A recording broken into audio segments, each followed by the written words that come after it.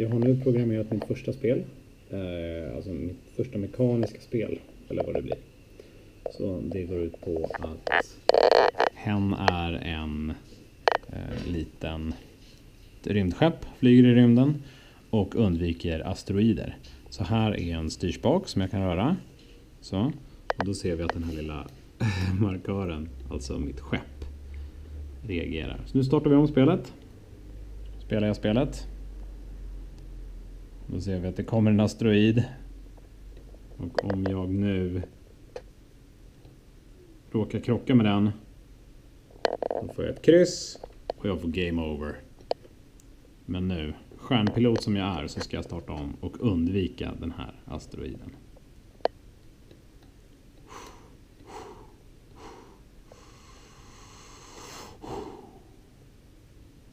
Och nu har jag klarat spelet.